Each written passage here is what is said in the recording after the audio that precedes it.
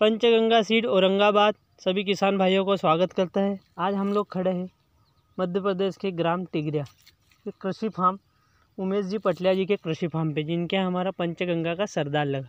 आइए हम किसान भाई से आपको रूबरू करवाते नमस्ते किसान भैया। नमस्ते भैया। क्या शुभ नाम सर आपका? उमेश पटेल। उमेश जी पटेल। अ, कौन सी वेरायटी लगाई है सर आपने ये? पंचगंगा सरदार।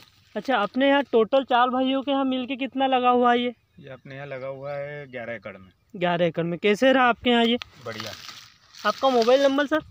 Nine double zero double nine zero eight three nine one. अच्छा आप क्या ऐसा कोई सा लाट लगा है जिसमें कि आठ दिन का अंतर हो बारीक कली भी लगाई हो आपने और मोटी कली भी लगाई हो? इसमें यही लाट में अं- अंतर है उधर बारीक कली है इधर मोटी कली है। तो आली वेराइटी है हमारी? अगली वैरायटी। और बीमारी प्र... साथ आई है। अच्छा दोनों एक और बीमारी प्रतिरोध सर? बीमारी की भी कोई वो नहीं है बढ़िया है। मतलब आप हमारे प्याज बीज से संतुष्ट हो? जरा ऊपर करो ना इसको।